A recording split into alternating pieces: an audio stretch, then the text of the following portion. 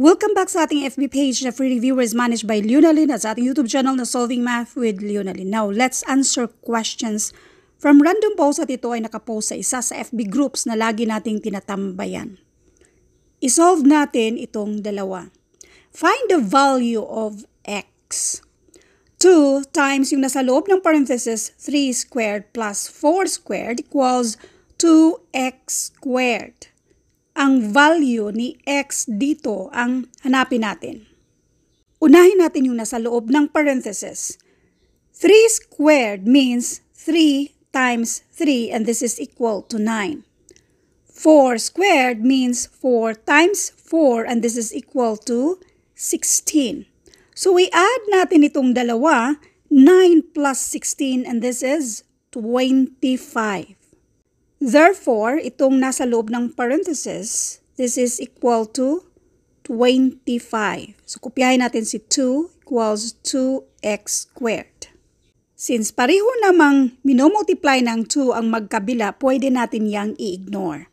Pero ang paliwanag natin, bakit natin yan i-ignore? Kailangan natin i-isolate itong x, yung x squared. Since meron tayong 2 na nag-multiply dyan, kapag i-transfer natin sa kabila, pang-divide na yan siya. In other words, nag-divide tayo ng 2 to both sides para makancel si 2 dyan. Pagdating naman dito sa kabila, since 2 lang din ang nandito at i-divide ng 2, makancel out din natin yan. So therefore, ang matitira na lang natin, so i-cancel out na lang natin si 2. Kasi ang matitira na lang natin ay itong 25 at si x squared. Now, para makuha natin yung value ni x, kasi x squared pa yan siya, so square root natin ang both sides.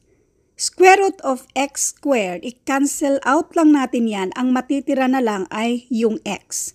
Now, square root of 25 equals 5. Therefore, ang value ni x dito ay 5. Next, Nasa loob ng parenthesis, square root of 32 plus square root of 18 at yung dalawa ay i-multiply natin sa square root of 2. Ano kaya ang sagot dito? Unahin natin yung nasa loob ng parenthesis. Pero itong square root of 32, pareho dito sa square root of 18, hindi yan sila perfectly ma-square natin. So ang gagawin natin ay hanapan natin ito ng mga factors kung saan meron tayong ma-perfectly ma-square root. Dito sa 32, so square root of 32, yung mga factors ni 32 na pwede nating may square root, magsimula tayo sa pag-divide ng 2. 32 divided by 2, and this is 16. Yung 16 ay perfectly may square root natin yan, so kunin natin yung 16. So this is 16 times 2. Next, yung square root of 18. Yung 18, magsimula tayo sa pag-divide ng 2. Ang pinaka-clue natin kung ano yung una nating i-divide ay meron tayong square root of 2 dyan. So yan yung gamitin natin. Kaya una pa lang, yan na ginamit natin kasi yan yung pinaka-clue natin. Baka yan na nga ang isang factors na gamitin natin. So anyway, 18 divided by 2 and that is 9. So we have 9 times 2. So itong si square root of 32 ay pareho lang dito sa square root of 16 times 2. Square root of 18 ay pareho lang dito sa square root of 9 times 2. Now, pwede na nating i-square root itong 16. Square root of 16 ay 4. So, we have 4 square root of 2. Plus yan siya. Now, square root of 9, that is 3. So, we have 3 square root of 2. At yan ay nasa loob ng parenthesis na i-multiply pa natin dito square root of 2. Itong 4 square root of 2, i-add natin sa 3 square root of 2, pareho silang merong square root of 2. Simplihan natin sa pag-explain. Halimbawa, itong square root of 2 gawin nating apple. So, sa square root of 2, gawin nating apple. 4 apples plus 3 apples and this is equal to 7 apples. Ganun lang siya kasimple. So therefore, itong mga coefficient natin na 4 at 3, i-add lang natin yan. 4 plus 3 and that is 7 at kopyahin si square root of 2. At yan ay i-multiply natin dito sa square root of 2.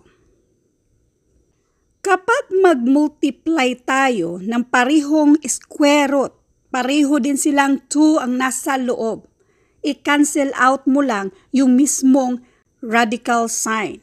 Ngayon, i-explain natin yan para maintindihan nyo. Example tayo. Mag-example tayo.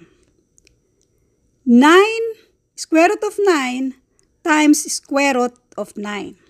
Kung mag-multiply tayo ng square root of 9 times square root of 9, ito ay 9 lang ang sagot. So, paanong naging 9? Square root of 9, this is equal to 3.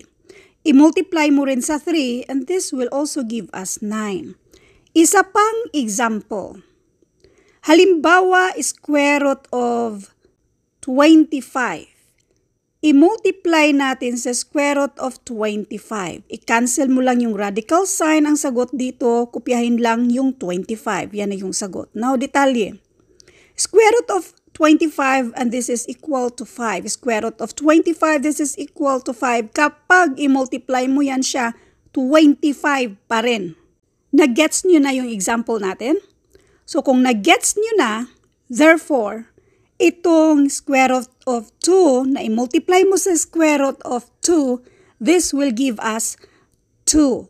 At yung 2 na yan ay i-multiply natin dito sa 7. 7 times 2 and this is equal to 14. Kaya ang sagot dito ay 14.